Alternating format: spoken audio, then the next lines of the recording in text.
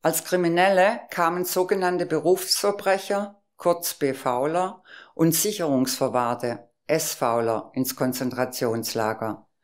Sie wurden in der Regel mit einem grünen Winkel gekennzeichnet. Die BVler wurden von der Kriminalpolizei ins KZ eingewiesen. Sie hatten ihre Haftstrafen verbüßt, wurden jedoch nicht freigelassen, sondern vom Gefängnis direkt ins Konzentrationslager verlegt. Als Berufsverbrecher galt, wer mehr als fünf Vorstrafen und eine schlechte Sozialprognose von der Gefängnisverwaltung hatte. Ein exemplarisches Beispiel.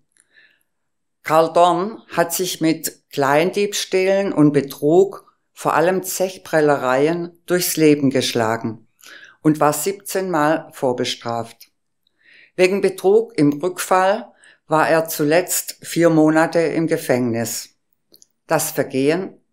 Er war einem Wirt fünf Reichsmark 50 für 15 Glas Bier und Zigaretten schuldig geblieben.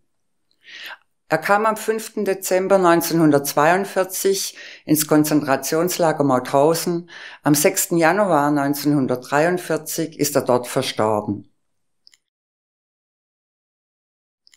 Die schwere Arbeit, den ständigen Hunger und die alltägliche Gewalt überlebten viele nur wenige Tage und Wochen. Dies lässt vermuten, dass die meisten nicht bevorzugt behandelt wurden. Am 18. September 1942 wurde zwischen Reichsjustizminister Otto Georg Thierack und dem Reichsführer SS Heinrich Himmler vereinbart, dass sämtliche Sicherungsverwahrte aus dem Justizvollzug an die SS ausgeliefert werden sollten. Und zwar ausdrücklich zur Vernichtung durch Arbeit. Mit dieser Vereinbarung machten sich die Justizbehörden somit zu Gehilfen beim Massenmord.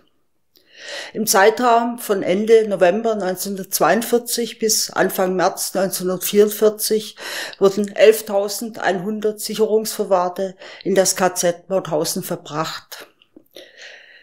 Bei der überwiegenden Mehrzahl der reichsdeutschen Sicherungsverwahrten handelte es sich um Kleinkriminelle mit vielen Vorstrafen wegen Diebstählen, kleinen Betrügereien und Bettelei und so weiter.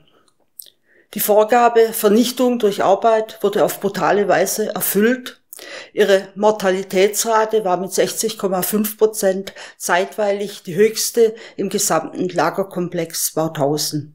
Viele überlebten nur wenige Wochen. Der Massenmord an dieser Opfergruppe wurde bis heute kaum thematisiert, auch nicht in der Forschung.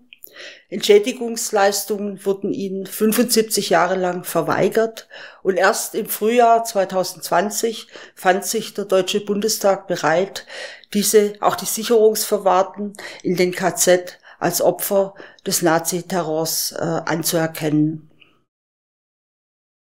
Gesellschaftliche Vielfalt impliziert für uns ein Höchstmaß an kollektiver und individueller Freiheit. Sie verlangt ein respektvolles Miteinander. Sie anzustreben ist der Motor für eine positive gesellschaftliche Entwicklung. Der Nazifaschismus war das Gegenteil davon. Im erinnerungspolitischen Kontext bedeutet Vielfalt heute keine Fortsetzung der Hierarchisierung der verschiedenen Häftlingsgruppen. KZ war für alle ein Verbrechen.